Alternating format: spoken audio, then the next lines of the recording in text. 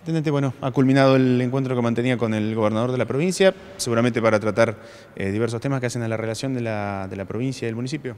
Sí, la verdad que fue un encuentro muy positivo.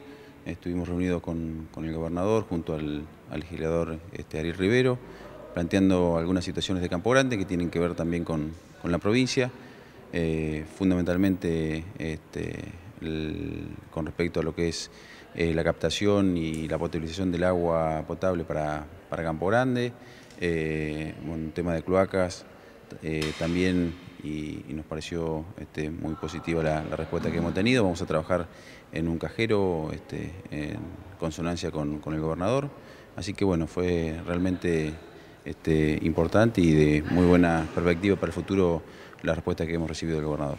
¿Se van conformes con el resultado del encuentro, Intendente? Sí, la verdad que sí, fue un encuentro, como dije, muy positivo. Este, fue un encuentro de trabajo, vamos a trabajar juntos y bueno, esperemos que, pronto tengamos este, respuestas concretas a las solicitudes que, mencionamos. ¿Los encuentros son habituales? el, diálogo, el contacto es fluido entre la provincia y el municipio?